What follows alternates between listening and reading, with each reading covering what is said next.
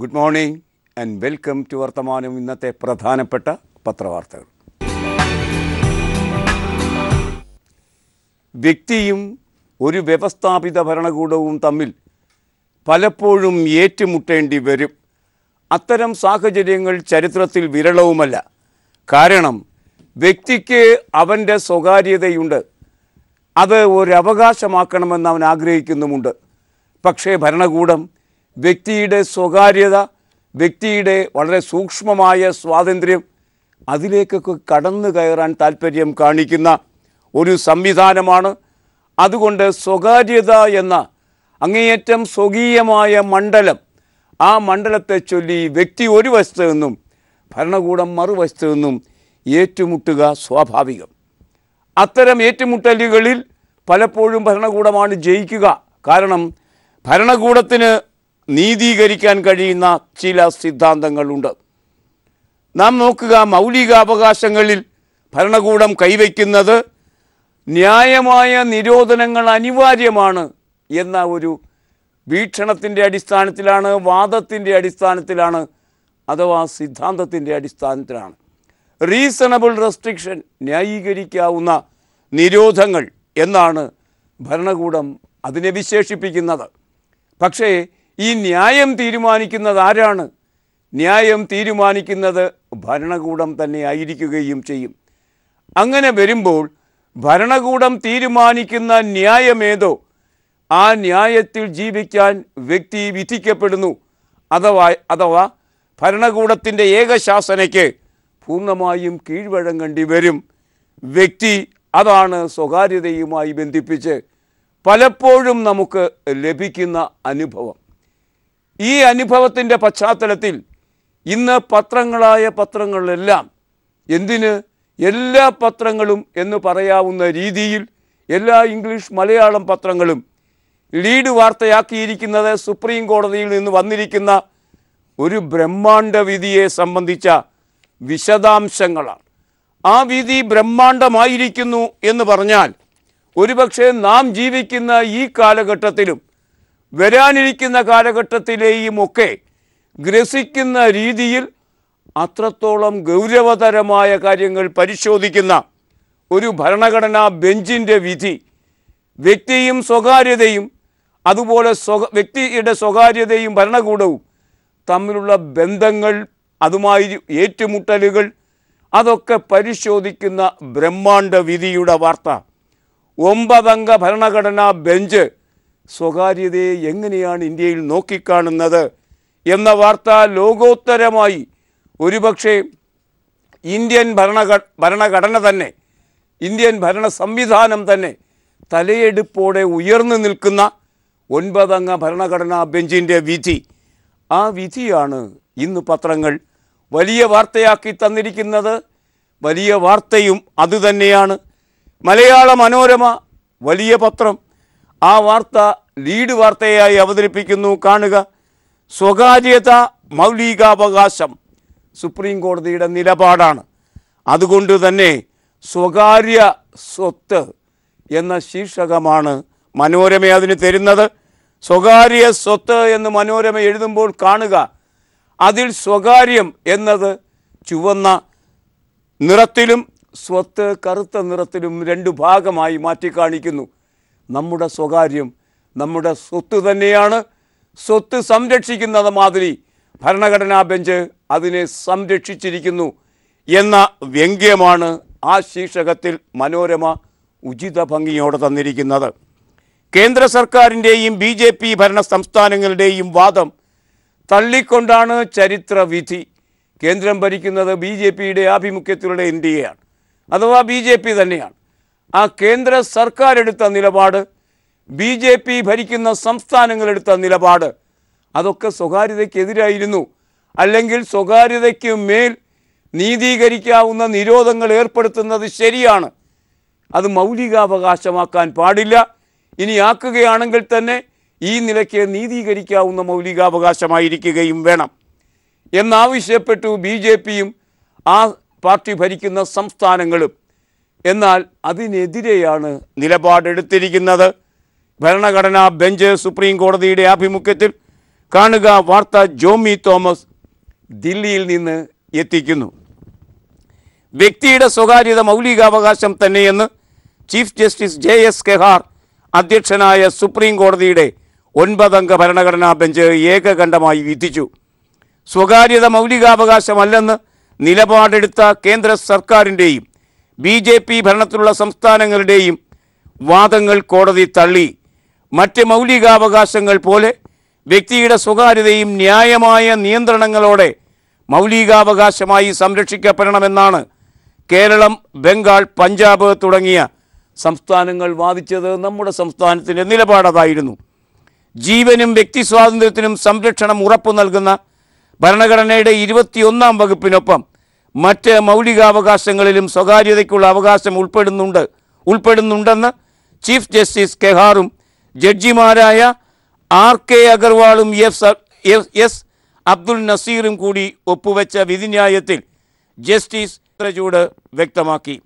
ബെഞ്ചിലെ മറ്റ് ജഡ്ജിമാരായ justice ചെമൽ judge Chelameswar S A Bobde Rohinton Nariman Abhay Manohar Sapre Sanjay Kishan Kaul എന്നിവർ വെവ്വേറെ വിധിന്യായങ്ങളിലൂടെയാണെങ്കിലും പൊതുനിലപാടിലെത്തി സ്വകാര്യത മൗലികാവകാശം തന്നെ എന്ന് പറയുകയും ചെയ്തു. അങ്ങനെ വരുമ്പോൾ അഞ്ചും നാലും അഞ്ച് പ്രത്യേക പ്രത്യേക വിധികൾ നാല് പേർ ചേർന്നൊരു വിധി. അങ്ങനെ ആറ് വിധിന്യായങ്ങളാണ് വന്നത്. എല്ലാ വിധിന്യായങ്ങളിലും വ്യത്യസ്ത വീക്ഷണകോണങ്ങളിൽ നിന്നും സമീപിച്ചെങ്കിലും സ്വകാര്യത മൗലികാവകാശമാണ് എന്ന നിരീക്ഷണത്തിലേക്ക് എത്തിച്ചേരുകയും ചെയ്തു. അന്തസ്സുള്ള ഒരു ജീവിതമാണ് പൗരന് സ്റ്റേറ്റ് പ്രദാനം ചെയ്യേണ്ടത്. ആ അന്തസ്സുറ്റ ഒരു ജീവിതത്തിന് സ്വകാര്യത അനിവാര്യമാണ് ഒഴിച്ചുകൂടാനാകാത്തതാണ്. എവിടെ പോകുന്നു എന്തിനു പോകുന്നു ആവശ്യ ഏതാവശ്യം തുടങ്ങിയ അസംഖ്യം ചോദ്യങ്ങൾ കഴുത്തിന് പിന്നിൽ പൊള്ളിക്കുന്ന ഒരവസ്ഥയുമായി അല്ലെങ്കിൽ ഭരണകൂടത്തിന്റെ കനൽ കൺ കണ്ണ് പിറകെ സഞ്ചരിക്കുന്നുണ്ട് എന്ന വേപുതയോടെ മനുഷ്യൻ വ്യക്തികൾ ജീവിക്കുന്ന ഇടം അത് അന്തസ്സുള്ള ഒരു ജീവിതമായിരിക്കുകയില്ല. അതാണ് സുപ്രീം കോടതി മനസ്സിലാക്കിയത്. അതുകൊണ്ട് അന്തസ്സുള്ള ജീവിതത്തിന് സ്വകാര്യ അനിവാര്യതം അനിവാര്യം എന്ന് വിശേഷിപ്പിക്കുന്ന സുപ്രീം കോടതിയുടെ വിധിയുടെ പ്രസക്ത ഭാഗങ്ങൾ ചുരുക്കി പറഞ്ഞിരിക്കുന്നു. മനോരമ ഇങ്ങനെയാണ്. ചില വശങ്ങൾ വായിക്കാം. സ്വകാര്യതയ്ക്ക് അന്തസ്സോടെയുള്ള ജീവിതവും വ്യക്തി സ്വാതന്ത്ര്യവുമായി വേർപിരിക്കാനാവാത്ത ബന്ധമാണുള്ളത്. അന്തസ്സോടെയുള്ള ജീവിതം ഭരണഘടനാ മൂല്യമാണ്. വ്യക്തിയാണ് ഭരണഘടനയുടെ കേന്ദ്ര ബിന്ദു അല്ലാതെ സർക്കാരല്ല. തീർത്തും ഒഴിവാക്കാനാകാത്ത കാരണങ്ങൾ ഉള്ളപ്പോൾ നിയമാനുസൃത മാർഗങ്ങളിലൂടെ മാത്രമേ വ്യക്തികളുടെ സ്വകാര്യതയിൽ സർക്കാർ ഇടപെടാനാകൂ. ഇടപെടുന്നതോടെയല്ല മറ്റു മാർഗങ്ങളില്ലാതാകുമ്പോഴാണ് ഇടപെടേണ്ടത്. അതും വളരെ പരിമിതമായ രീതിയിൽ. അങ്ങനെ വരുമ്പോൾ ഇടപെടലുകൾ ഉണ്ടായാൽ അത് ഉണ്ടായിക്കൊണ്ടേയിരിക്കും ആദ്യം സൂചിപ്പിച്ചത് മാതിരി. ഒരാൾക്കിനി കോടതിയിലേക്ക് പോവുകയും ഭരണഘടനാ ബെഞ്ചിന്റെ ഈ വിധി ഉയർത്തിപ്പിടിച്ച് ഭരണകൂടത്തെ നിലയ്ക്ക് നിർത്തുകയോ നിയന്ത്രിക്കുകയോ ചെയ്യാം. ഇപ്പോൾ ഭരിക്കുന്ന ഭരണകൂടത്തിന്റെ അവസ്ഥയാണെങ്കിൽ അനുനിമിഷം അത് നിയന്ത്രിക്കപ്പെടാൻ കൂടിയാണ്. അതും കൂടി നാം ആലോചിക്കണം. അങ്ങനെ വരുമ്പോൾ ഈ വിധിക്ക് വിധി എന്ന നിലയ്ക്കോ രാഷ്ട്രീയ മണ്ഡലത്തിലോ അല്ല. നമ്മുടെ സ്വന്തം ജീവിതത്തിൽ ആത്മാവിൽ തൊട്ടു പൊള്ളിക്കുന്നത് മാതിരി വലിയ നാഭി നാളബന്ധം ഉണ്ടാകുന്നു എന്നതാണ് സത്യം. കേന്ദ്ര സർക്കാരിന് ഈ വിധി ഇരട്ട പ്രഹരം മനോരമ അങ്ങനെ നിരീക്ഷിക്കുന്നു? അതിങ്ങനെയാണ്. ഭരണഘടനാ ബെഞ്ചിന്റെ വിധി രണ്ട് വിധത്തിൽ നരേന്ദ്രമോദി സർക്കാരിന് തിരിച്ചടിയാണ്. സ്വകാര്യത മൗലികാവകാശമല്ല എന്നായിരുന്നു കേന്ദ്ര സർക്കാർ വാദിച്ചത്. അത് തള്ളപ്പെട്ടു. കേന്ദ്രം ഭരിക്കുന്ന സംസ്ഥാനങ്ങളും വാദിച്ചത് അത് തന്നെയാണ്. എല്ലാ മേഖലയിലും ആധാർ നിർബന്ധമാക്കാനുള്ള തീരുമാനത്തിന് താൽക്കാലിക ബ്രേക്ക് ഇനി സുപ്രീം കോടതിയുടെ അടുത്ത വിധി വരെ കാത്തിരിക്കണം. ആധാർ ഒരു മണി ബിൽ എന്ന നിലയ്ക്കാണ് അവതരിപ്പിക്കപ്പെട്ടത് ലോക്സഭ പാസാക്കിയത്. മണി ബിൽ അല്ലെങ്കിൽ മറ്റൊരു തരത്തിൽ രാജ്യസഭയും പാസ്സാക്കണം അതില്ലാതെ തന്നെ നിയമമായതിന് കാരണം മണി ബിൽ എന്ന പേരിൽ വന്നതുകൊണ്ടാണ്. സബ്സിഡി പണം ആരും തട്ടിക്കരുത്. അതുമാത്രമായിരുന്നു അത്ര ലിമിറ്റഡ് ആയിരുന്നു ആധാർ കാർഡിന്റെ ഒരു ആവശ്യം. ആ കാർഡിന്റെ പേരിൽ അത് വലിയ വിവാദമുണ്ടാക്കി. കാരണം ആദ്യം കാർഡ് നൂറ്റിപ്പത്ത് കോടി ജനങ്ങളുടെ മേൽ അടിച്ചേൽപ്പിച്ചു. അതിനുശേഷം പണം തരാൻ പോകുകയല്ലേ അതിനുശേഷമാകട്ടെ ആ ആധാർ കാർഡ് മറ്റോ ഓരോ ഐ ഡി കാർഡുമായി ബന്ധിപ്പിക്കാൻ തുടങ്ങി. ബാങ്ക് ബാങ്കുമായുള്ള നമ്മുടെ ബാങ്ക് അക്കൗണ്ടുമായി ബന്ധിപ്പിക്കണം. മറ്റ് ഐ ഡികളുമായി ബന്ധിപ്പിക്കണം. അങ്ങനെ സർവാശ്ലേഷിയായ ഒരു കാര്യമായി ആധാർ കാർഡ് മാറുമ്പോൾ ആധാറിൽ കൈവിരലുകളും കൈവിരലുകൾ കണ്ണ് തുടങ്ങിയ ബയോമെട്രിക് കാര്യങ്ങൾ ഉൾപ്പെട്ടിരിക്കുന്നതുകൊണ്ട് ആധാർ കാർഡുമായി ബന്ധിപ്പിക്കപ്പെടുമ്പോൾ ആ ഡിജിറ്റൽ സംവിധാനത്തിൽ വ്യക്തിയെ സംബന്ധിച്ച മുഴുവൻ കാര്യങ്ങളും കുന്നു കുന്നായി ഒരു ബട്ടൺ അമർത്തുമ്പോൾ ആർക്കും ലഭിക്കും. അത് അനധികൃതമായി ആരുടെയെങ്കിലും കൈകളിലെത്തുമോ? എത്തിക്കഴിഞ്ഞല്ലോ. ഒരു ലക്ഷത്തിൽ പരം ആധാർ കാർഡിന്റെ വിവരങ്ങൾ പൊതു ഡൊമൈനിലേക്ക് പബ്ലിക് ഡൊമൈനിലേക്ക് ഇപ്പോൾ തന്നെ വന്നു കഴിഞ്ഞു അനധികൃതമായി. അതുകൊണ്ട് വ്യക്തിയുടെ സ്വകാര്യത സംരക്ഷിക്കപ്പെടുന്നതേയില്ല. ആധാർ കാർഡുമായി ബന്ധിപ്പിച്ച ചർച്ചകൾ നടക്കുമ്പോൾ ആധാർ കാർഡിന്റെ വിപരീത വശം ദാ ഇതാ ഈ വിധിയുടെ ഭാഗമായി ഇല്ലായ്മ ചെയ്യപ്പെടാൻ പോകുന്നു. വിധി മൂലമുണ്ടാകുന്ന ഗുണങ്ങൾ അക്കമിട്ട് പറയുന്നു മനോരമ. തന്റെ സ്വകാര്യത അതിക്രമിക്കപ്പെടുന്നു എന്ന് കണ്ടാൽ വ്യക്തികൾക്ക് ഇനി മൗലികാവകാശം ലംഘിക്കപ്പെട്ടതായി കാണിച്ച് കോടതിയെ സമീപിക്കാം. എന്നാൽ സ്വകാര്യ സ്വകാര്യത പരമമായ അവകാശമല്ല എന്നും വിധിയിൽ വ്യക്തമായി പറയുന്നു. അതായത് ഇത് ന്യായമായ നിയന്ത്രണങ്ങൾക്ക് വിധേയമായിരിക്കും. ന്യായം തീരുമാനിക്കുന്നത് പൂർണമായും സർക്കാരായിരിക്കില്ല എന്നർത്ഥം കാരണം ഇത് മൗലികാവകാശമാണ്. ആധാർ ആധാറിനെ സംബന്ധിച്ച് പറയുന്നു. ബാങ്ക് അക്കൗണ്ട് തുടങ്ങുന്നത് മുതൽ സബ്സിഡി ലഭിക്കുന്നതും നികുതി റിട്ടേൺ സമർപ്പിക്കുന്നതും വരെ എല്ലാത്തിനും നിർബന്ധമാകുമോ എന്ന് സുപ്രീം കോടതി പരിഗണിക്കാനിരിക്കുന്ന കേസിന്റെ വിധി കൂടി വന്നാലേ ഇത് വ്യക്തമാകൂ. ആ കാര്യത്തിലാണ് മനോരമ ചില അഭിപ്രായങ്ങൾ രേഖപ്പെടുത്തിയിരിക്കുന്നത്. ആറ് വിധിന്യായങ്ങൾ വന്നു എന്ന് സൂചിപ്പിച്ചല്ലോ. അത് ഈ ചരിത്രപരമായ വിധിന്യായം ഞങ്ങളാണ് അവതരിപ്പിച്ചത് എന്ന് ചരിത്രത്തിൽ നിന്നുകൊണ്ട് തന്നെ അഭിമാനം. കൂറാൻ കഴിയുന്ന ജസ്റ്റിസ്മാർ chief justice J S Khehar justice R K Agarwal justice D Y Chandrachud justice Abdul Nazeer justice Chalameswar justice S A Bobde justice Rohinton Nariman justice Ajay Manohar Sapre justice Sanjay Kishan Kaur ഇവർക്ക് അഭിമാനിക്കാം എക്കാലവും ഈ വിധിയെ ചൊല്ലി. മറ്റൊരു കൗതുകം കൂടിയുണ്ട്. വ്യക്തി സ്വാതന്ത്ര്യത്തിനുള്ള അവകാശത്തിൽ പ്രത്യേക വിശുദ്ധിയൊന്നുമില്ല എന്ന് ചന്ദ്രചൂട് അച്ഛൻ ചന്ദ്രചൂട് ആയിരത്തി തൊള്ളായിരത്തി എഴുപത്തി അഞ്ചിൽ വിധിച്ചു.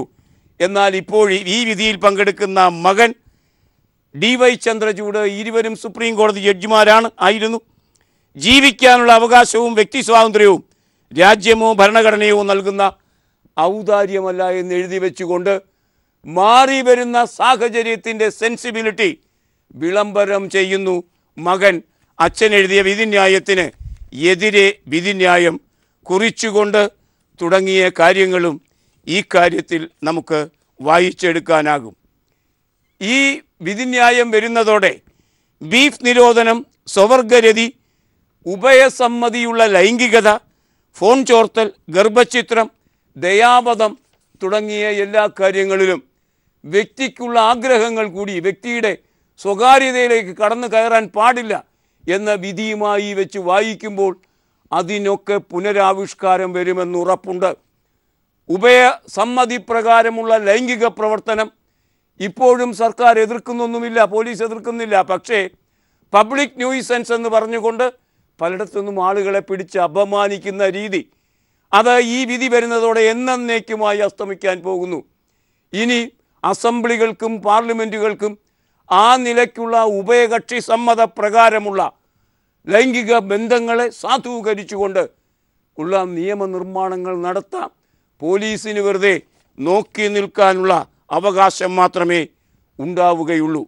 ആ നിലയ്ക്ക് വ്യക്തിയെ അംഗീകരിക്കുകയും വ്യക്തിയുടെ ക്രിയേറ്റിവിറ്റിയെ തുറന്നുവിടുകയും ഒക്കെ ചെയ്യുന്ന വലിയ ഇമ്പാക്റ്റാണ് ഈ വിധി കൊണ്ടുവരാൻ പോകുന്നത്. അതാണ് ഈ വെള്ളിയാഴ്ചയുടെ ഏറ്റവും വലിയ വാർത്താ പ്രസക്തി. മന്ത്രി ശൈലജയ്ക്കെതിരായ പരാമർശങ്ങൾ ഹൈക്കോടതി നീക്കി. അതാണ് ഇന്ന് കിട്ടുന്ന പ്രധാനപ്പെട്ട മറ്റൊരു വാർത്ത. വല്ലാതെ ബുദ്ധിമുട്ടിപ്പോയിരുന്നു ആ മന്ത്രിണി. കാരണം അങ്ങനെയാണ് മാധ്യമങ്ങൾ അവരെ ഇട്ട് രണ്ട് മൂന്ന് ദിവസം പന്താടിയത്. മാധ്യമങ്ങൾ വാക്ക് വാക്ക് കേട്ട് ഇറങ്ങിത്തിരിച്ച നമ്മുടെ സാമാജികരുണ്ടല്ലോ.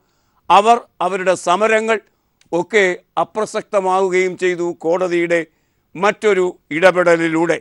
ബാലാവകാശ കമ്മീഷനിലേക്കുള്ള നിയമനവുമായി ബന്ധിപ്പിച്ചാണ് മന്ത്രി ശൈലജയ്ക്കെതിരായ പരാമർശങ്ങൾ ഹൈക്കോടതി നീക്കിയത്. ബാലാവകാശ കമ്മീഷൻ നിയമനവുമായി ബന്ധപ്പെട്ട് മന്ത്രി കെ കെ ശൈലജയ്ക്കെതിരായ സിംഗിൾ ബെഞ്ച് പരാമർശങ്ങൾ ഹൈക്കോടതി നീക്കി.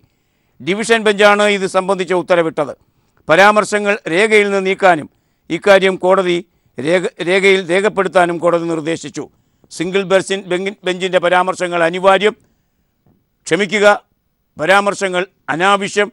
സുപ്രീം കോടതി വിധിക്ക് വിരുദ്ധം എന്ന വീക്ഷണമാണ് ഹൈക്കോടതി പുലർത്തിയത്. ഹൈക്കോടതിയിലെ ഡിവിഷൻ ബെഞ്ച് പുലർത്തിയത്. ഇക്കാര്യത്തിൽ മാധ്യമങ്ങൾ പരിധി വിട്ടു. അതാണ് കോടതിയുടെ ഒരു നിരീക്ഷണം. ബാലാവകാശ കമ്മീഷൻ നിയമന കേസിൽ സർക്കാരിനെതിരെ ഹൈക്കോടതി പരാമർശങ്ങൾ നടത്തിയെന്ന മാധ്യമ വാർത്തകൾ വാസ്തവ വിരുദ്ധമാണ് എന്ന് ചീഫ് ജസ്റ്റിസ് ഉൾപ്പെടുന്ന ഡിവിഷൻ ബെഞ്ച് വ്യക്തമാക്കി. സിംഗിൾ ബെഞ്ച് വിധിക്കെതിരെ സർക്കാർ സമർപ്പിച്ച അപ്പീൽ പരിഗണിക്കവേ. ഡിവിഷൻ ബെഞ്ചിന്റേതായ മാധ്യമങ്ങൾ പ്രസിദ്ധീകരിച്ച വാർത്തകളെക്കുറിച്ച് പരാമർശിക്കുകയായിരുന്നു ചീഫ് ജസ്റ്റിസ്. കോടതി അഡ്വക്കേറ്റ് ജനറലുമായി കേസ് സംബന്ധിച്ച് ആശയവിനിമയം നടത്തുക മാത്രമാണ് ചെയ്തത്. ഇതാണ് സർക്കാർ വിരുദ്ധ പരാമർശങ്ങളെന്ന നിലയിൽ അച്ചടി ദൃശ്യമാധ്യമങ്ങൾ പ്രസിദ്ധീകരിച്ചത് സർക്കാരിനെതിരെ ഹൈക്കോടതി പരാമർശങ്ങൾ നടത്തിയെന്ന മാധ്യമ വാർത്തകൾ വാസ്തവ വിരുദ്ധം. കേരളത്തിലെ മാധ്യമ റിപ്പോർട്ടിംഗ് സംബന്ധിച്ച് പ്രസ് കൗൺസിൽ ഓഫ് ഇന്ത്യ ചെയർമാനുമായി ആശയവിനിമയം നടത്തിയത് ആയും ചീഫ് ജസ്റ്റിസ് പറഞ്ഞിരിക്കുന്നു. മാധ്യമങ്ങൾക്ക് മൂക്കുകയർ വേണോ എന്ന് ആലോചിക്കേണ്ടി വരുന്ന അവസ്ഥയാണ് ഇത്തരം വാർത്തകളിലൂടെ പ്രചരിപ്പിക്കപ്പെടുന്നത്. ഇന്ന് മാതൃഭൂമി ഒന്നാം പേജിൽ തരുന്ന വാർത്ത. ഐ എസിലെ പതിനാല് മലയാളികൾ മരിച്ചതായി നിരീക്ഷണം. സിറിയയിലേക്ക് ആത്മാ ആത്മസമർപ്പണത്തിന്റെ യുദ്ധത്തിലേക്ക് സഞ്ചരിച്ച മലയാളികളാണ് യുദ്ധത്തിലേക്കോ ആടുമേക്കലിലേക്കോ സഞ്ചരിച്ച ആ മലയാളികൾ. പതിനാല് മലയാളികൾ മരിച്ചതായി സ്ഥിരീകരിക്കപ്പെട്ടിരിക്കുന്നു. ഭീകര സംഘടനയായ ഇസ്ലാമിക് സ്റ്റേറ്റിൽ ചേർന്ന പതിനാല് മലയാളികൾ കൊല്ലപ്പെട്ടതായി കേരള പോലീസിന്റെ രഹസ്യാന്വേഷണ വിഭാഗം സ്ഥിരീകരിച്ചതായി കെ ബാലകൃഷ്ണൻ മാതൃഭൂമിയിൽ കണ്ണൂരിൽ നിന്ന് റിപ്പോർട്ട് ചെയ്യുന്നു. കൊല്ലപ്പെട്ടവന്റെ ജീവിതം കഴിഞ്ഞു. എന്നാൽ കൊന്നവനെ വീണ്ടും ആ പ്രതിയെ കൊല്ലുന്ന ഒരു പ്രത്യയശാസ്ത്രം ഏതായാലും പ്രതികാരത്തിന്റെ പ്രത്യയശാസ്ത്രമാണ്. നീതിന്യായ കോടതിക്ക് ഉപരി പ്രവർത്തിക്കുന്ന തെറ്റായ ഒരു സംഭവഗതിയുമാണ്. മംഗളം എന്ന പത്രത്തിന്റെ ഒന്നാം പുറം അങ്ങനൊരു വാർത്തയും നമുക്ക് തരുന്നു. ഫൈസൽ വധക്കേസിലെ രണ്ടാം പ്രതിയെ നടു റോഡിൽ വെട്ടിക്കൊന്ന വാർത്തയാണ് മംഗളം തരുന്നത്. ആ സചിത്ര വാർത്തയുടെ വിശദാംശം കാണുക. മതം മാറിയതിന്റെ പേരിൽ യുവാവിനെ ഇരുളിന്റെ മറവിൽ നിഷ്ഠൂരമായി കൊലപ്പെടുത്തിയ കേസിലെ രണ്ടാം പ്രതിയെ മുഖംമൂടികൾ നടു റോഡിൽ പട്ടാപ്പകൽ വെട്ടിക്കൊന്നു. കൊടിഞ്ഞി ഫൈസൽ വധക്കേസിലെ പ്രതി ആർ എസ് എസ് മണ്ഡൽ ശാരീരിക് ശിക്ഷൻ പ്രമുഖ് തൃപ്പങ്ങോട് പൊയിലിശ്ശേ പൊയിലിശ്ശേരിയിലെ കുണ്ടിൽ ബിവിൻ ആണ് അതിദാരുണമായി കൊല്ലപ്പെട്ടത്. ഇന്നലെ രാവിലെ ഏഴേകാലിന് തിരൂർ ബി പി അങ്ങാടി പുളിഞ്ചോട്ടിലായിരുന്നു സംഭവം. ഫൈസലിനെ രാത്രിയുടെ മറവിലാണ് കൊന്നത് എങ്കിൽ കൊന്ന ബിബിനെ കൊന്നത് പകലായിരുന്നു. പക്ഷേ ഫൈസലിനെ കൊല്ലുമ്പോൾ മുഖം മൂടി ഉണ്ടായിരുന്നില്ല കൊലപാതകികൾക്ക് പകൽ കൊല്ലുമ്പോൾ മുഖംമൂടി വേണം മുഖംമൂടിയും ഉണ്ടായിരുന്നു. അതൊക്കെയാണ് ഇന്ന് ഈ കാര്യത്തിൽ വാർത്തയായി നമുക്ക് ലഭിക്കുന്നത്. ഇരുന്നൂറ് രൂപ നോട്ട് ഇന്നു മുതൽ പ്രചാരത്തിലെത്തുന്നു. നോട്ടിന്റെ ക്ഷാമം പരിഹരിക്കാനാണ് കേന്ദ്ര സർക്കാർ അങ്ങനെ ചെയ്യുന്നത്. ഇരുന്നൂറ് രൂപ നോട്ട് ഇന്ന് പുറത്തിറങ്ങും. രാജ്യത്ത് ആദ്യമായി ഇരുന്നൂറ് രൂപയുടെ നോട്ട് റിസർവ് ബാങ്കിൽ നിന്ന് പുറത്തിറക്കും താഴ്ന്ന മൂല്യമുള്ള നോട്ടുകളുടെ ലഭ്യത വർദ്ധിപ്പിക്കുന്നതിന്റെ ഭാഗമായാണ് നാം ആദ്യമായി ഇരുന്നൂറ് രൂപയുടെ നോട്ട് നേരിൽ കാണാൻ പോകുന്നത് എന്നും ഈ വാർത്ത നമ്മോട് പറയുന്നു. കേരളത്തിൽ വീണ്ടും ബാങ്കിന്റെ ശാഖകൾ പൂട്ടുന്നു സ്റ്റേറ്റ് ബാങ്ക് ഓഫ് ഇന്ത്യയുടെ. ആ വാർത്ത ഇന്ന് പൊതുവാർത്താ പേജിൽ ദേശാഭിമാനി തരുന്നു. നമുക്ക് ആ വാർത്തയിലേക്ക് പോകാം. കേരളത്തിൽ എസ് ബി ഐ കൂടുതൽ ശാഖകൾ പൂട്ടുന്നു. വാർത്ത മഞ്ജു കുട്ടികൃഷ്ണൻ കൊച്ചിയിൽ നിന്ന് റിപ്പോർട്ട് ചെയ്യുന്നു. അസോസിയേറ്റ് ബാങ്കുകളെ ലയിപ്പിച്ച് മൂന്ന് മാസം പിന്നിട്ടിട്ടും എസ് ബി ഐയിൽ ശാഖാലേഖനം തുടരുന്നു. S B I associate bank ലയനത്തിന്റെ ഭാഗമായി മുന്നൂറിലേറെ ശാഖകൾ നിർത്തലാക്കിയ അധികൃതർ ഉടൻ തന്നെ കേരളത്തിൽ നൂറ്റി എഴുപത്തിയെട്ട് ശാഖകൾ കൂടി പൂട്ടും എന്നാണ് ഈ ദേശാഭിമാനി വാർത്ത നമ്മോട് പറയുന്നത്. ഇനി ഇന്നത്തെ മുഖലേഖനങ്ങൾ.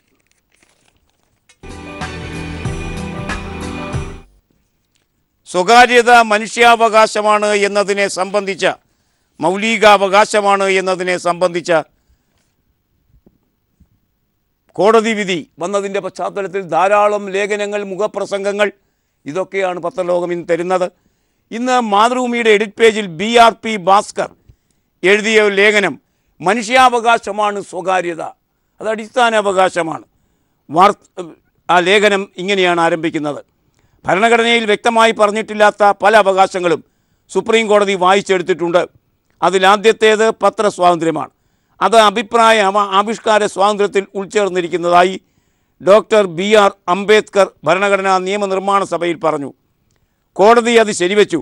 പിന്നീട് കോടതി കണ്ടെത്തിയ അവകാശങ്ങളിൽ ആരോഗ്യവും വിദ്യാഭ്യാസവും ഉൾപ്പെടുന്ന ഉൾപ്പെടുന്നു. ഒമ്പ ഒൻപത് അംഗ ഭരണഘടനാ ബെഞ്ച് ഇന്നലെ നൽകിയ ചരിത്രവിധി സ്വകാര്യതയെയും ആ പട്ടികയിൽപ്പെടുത്തിയിരിക്കുന്നു. കേന്ദ്ര സർക്കാരിന്റെ വാദങ്ങൾ തള്ളിക്കൊണ്ടാണ് ജഡ്ജിമാർ ഏകസ്വരത്തിൽ സ്വകാര്യത മൗലികാവകാശമാണ് എന്ന് പ്രഖ്യാപിച്ചത്. സ്വകാര്യത മനുഷ്യന്റെ ജീവിക്കാനുള്ള അവകാശത്തിന്റെ ഭാഗമാണ് എന്ന കോടതിയുടെ നിരീക്ഷണം അർത്ഥവത്താണ്. പരിമിതികളുണ്ട് സ്വാതന്ത്ര്യത്തിന് എങ്കിലും കാണുക. കേസ് അന്വേഷണത്തിന്റെ ഭാഗമായി ഒരു റെയ്ഡ് നടന്നപ്പോൾ അത് തന്റെ സ്വകാര്യതയിലേക്കുള്ള കടന്നുകയറ്റമാണെന്ന് വാദിച്ചുകൊണ്ട് ഒരാൾ അൻപതുകളിൽ സുപ്രീം കോടതിയെ സമീപിക്കുകയുണ്ടായി. സ്വകാര്യത മൗലികാവകാശമല്ലെന്നാണ് അന്ന് കോടതി പറഞ്ഞത്. ഇപ്പോൾ അത് മൗലികാവകാശമായിരിക്കുന്നു. ഭരണഘടനാ പ്രകാരം മൗലികാവകാശങ്ങളുടെ മേൽ യുക്തിസഹമായ നിയന്ത്രണങ്ങൾ ഏർപ്പെടുത്താൻ സർക്കാരിന് അധികാരമുണ്ട്. ഇതിനായി പുതിയ നിയമം കൊണ്ടുവരികയോ നിലവിലുള്ള നിയമങ്ങളെ ഭേദഗതി ചെയ്യുകയോ ഒക്കെ ചെയ്യേണ്ടി വരും എന്നാണ് ബി ആർ പി ഭാസ്കർ ഈ ലേഖനത്തിൽ പറയുന്നത്. ഇനി ഇന്നത്തെ കാർട്ടൂൺ.